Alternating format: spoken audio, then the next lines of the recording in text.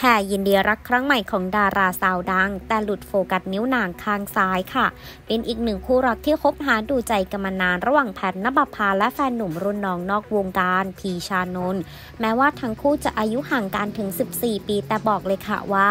เหมาะสมกันมากๆ อยู่ด้วยกันด้วยความรักความเข้าใจและ support กันในทุกเรื่องล่าสุดสาวแพทได้โพสต์ลงในไอจีส่วนตัวค่ะ เผยภาพที่หวานใจจับมือ มีแหวนเพชรนิ้วนางข้างซ้ายเม็ดใหญ่อลังการมากทำเอาคนบันเทิงและแฟนคลับหลายคนแห่กดไลค์และคอมเมนต์แสดงความยินดีกับรักครั้งนี้ค่ะ นอกจากนี้เองสาวแพทก็ได้ปล่อยภาพสุดเซ็กซี่ให้ได้รับชมกันด้วย ชีวิตของเธอจะแฮปปี้งานก็ปังรักรุ่งขนาดไหนมาชมกันเลยค่ะ